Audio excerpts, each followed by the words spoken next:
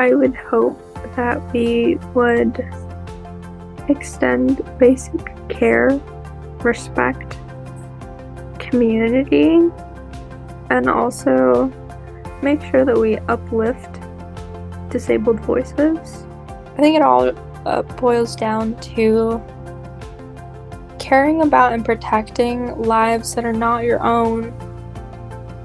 My hope is that people see us as humans.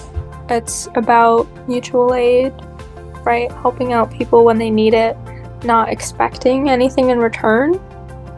Um, but also knowing that you can count on others to help you out too if you need it.